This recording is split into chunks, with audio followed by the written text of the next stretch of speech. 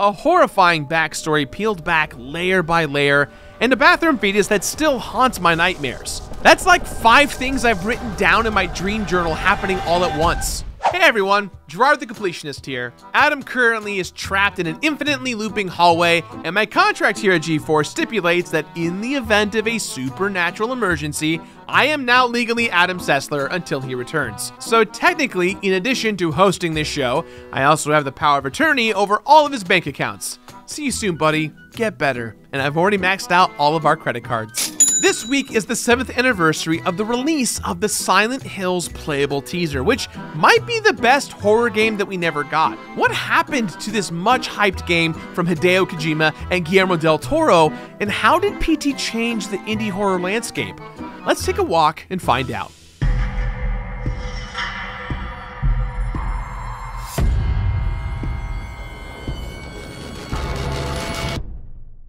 August 12th marks seven years since Sony released a trailer for a new game dubbed PT at their Gamescom press conference.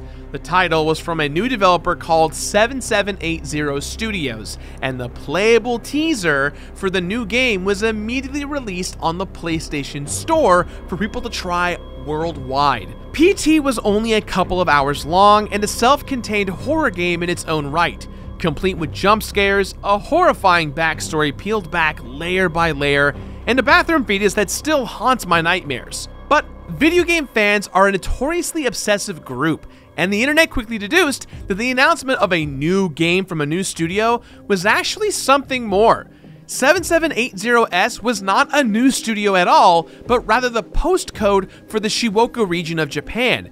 Shizuoka roughly translates to quiet or calm hill, and the region is also nicknamed Silent Hill by the native gamers of Japan. From there, it's simple enough to deduce that 7780S could just as easily go by another name, Silent Hills. Cue Silent Hill fans everywhere, collectively screeching in delight, despite there being no official mention of Silent Hills at all during the press conference. An ambiguously unlocked ending of the chilling demo revealed to fans that it was, in fact, a teaser for a new game called Silent Hills. In the ending cutscene, we also learned that it would be starring Norman Reedus in collaboration with legendary horror director Guillermo del Toro and developed using Kojima's Fox engine. That's like five things I've written down in my dream journal happening all at once. PT Stealth launch is far from the only time Kojima has left the entire internet overanalyzing the barest scraps of information. Between the debut trailer of the Phantom Pain from the extremely fake Moby Dick Studios that was actually Metal Gear Solid 5, a reveal Kojima claims to have planned for years, to the mysterious drip feed of information that preceded Death Stranding, it's clear that Hideo Kojima is a master troll. Or an auteur. Either way, I say it with love. In 2014, the prospect of PT's high profile collaborations and seeing Kojima's creative vision apply to a Silent Hill game had fans especially hyped. Kojima has always clearly been influenced by film, so collaborating with Del Toro and Reedus made sense for him. Kojima has also flirted with horror in his other works, but this would have been his first fully fledged entry into the genre, and with this first looping experience, it was clear that there was a master at work here. Every time you opened the door at the bottom of the stairs, your brain went, F this. And gamers were into it. PT hit a million downloads in just the first month. On September 18th, 2014, Kojima revealed a Silent Hills concept trailer at the Tokyo Game Show. It's horrifying. Seriously, look at this. And that was it. That was all we ever got. The full Silent Hills game never saw the light of day. In early 2015, a breakup more tragic than Rory and Dean or Taco Bell and the Mexican Pizza hit us all hard. Hideo Kojima and Konami were done. After 30 long years together, Kojima was leaving Konami, or maybe he was getting drop kicked out of the company. Either way, the road to Silent Hills led to a gigantic burning bridge. It was ostensibly due to corporate restructuring, which really meant Konami was deciding to take a mobile first approach. Company morale was about to look like this. In an interview with Japanese publication Nikkei Trendy Net, Hideki Hayakawa, the new president of Konami, who stepped into the role during the reorganization, said, Our aim is to continue to build up a comprehensive portfolio of console, arcade, and card game titles for each IP, while also making the best possible use of the mobile devices that accompany our customers in their daily life. Essentially, Hayakawa believed platform distinctions will dissolve, and mobile devices will be the driving force in the continued growth of the market, meaning they no longer considered bigger AAA projects with massive budgets as potentially lucrative, and game designers that had previously been able to create top flight games they were passionate about were literally being assigned busy work Cameras were placed all around their offices, and lunch breaks were closely monitored to keep employees on a tight leash. There were even reports that members of Kojima's team had their work computers disconnected from the internet. Konami even removed the Kojima Productions logo and the phrase a Hideo Kojima game from the Metal Gear Solid website and even the final box art for Phantom Pain.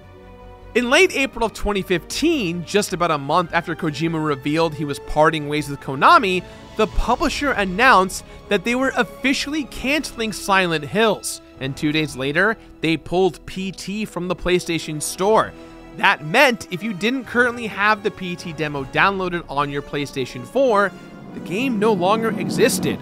Rumors circulated about Konami releasing secret patches to kill any versions of the teaser that are still downloaded on lucky users' PS4s. Despite reports, technically speaking, these are probably just rumors, but I did still unplug my PS4 with PT installed on it and turned off all console updates just in case. You can never be too careful.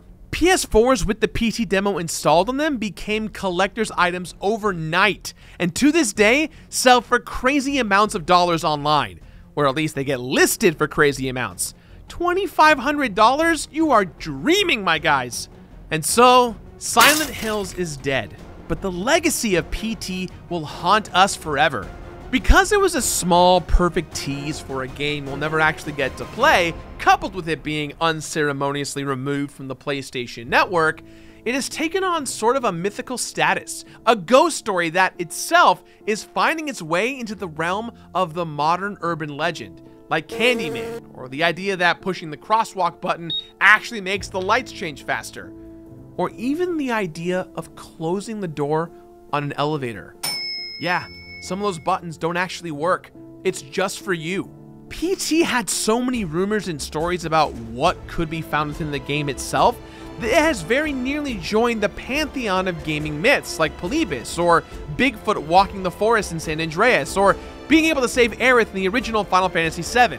Fan speculation got to a point where you could theoretically unlock the ending cutscene with the Norman Reedus and Guillermo del Toro reveal by whispering the name Jareth when you hear a certain sound using the PlayStation headset plugged in. Did I try that? You bet I did. Jareth, Jareth, Jareth. Hackers were even still finding secrets buried in the game's code as recently as 2019. Yet PT's legacy is beyond myth and legend. It spawned an indie horror boom. Previous horror hits, like the Resident Evil franchise, frequently mixed the high octane with the eerie and armed you with weapons, allowing you to stand a chance against their in game nightmares. But fans loved the atmospheric dread found on the playable teaser so much that games like Visage, Layers of Fear, and even Resident Evil 7 and 8 were undeniably products of the cultural zeitgeist's newfound desire to wander around the dark, scaring the crap out of ourselves. So, Happy 7th birthday, PT. You've grown into a terrifying child the world will never get to fully meet. But as one of the most influential game demos of all time, we will never forget you.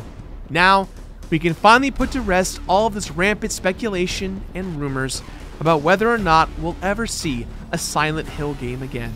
That's it. No more rumors or speculation. Anyway, so there are rumors of potentially two new Silent Hill games in development over at Konami. Also, maybe Konami is working with the master of horror Junji Ito? I mean, they briefly mentioned it would be cool in passing, and, and while we're at it, I was thinking there's this great game on itch.io with like zero downloads, and it's really cool and. Hey, thank you so much for watching this video all the way to the very end. If you're lucky enough to be able to play PT on one of those mythical PS4s, it's truly worth experiencing it for yourself. But, as an alternative, consider following the looping horror of our ongoing X-Play content. Check out Sessler's take on Resident Evil Village right here, or dive into the secret history of Metroid. They're both great. I am not Adam Sessler, and I'll see you all next time. Bye bye!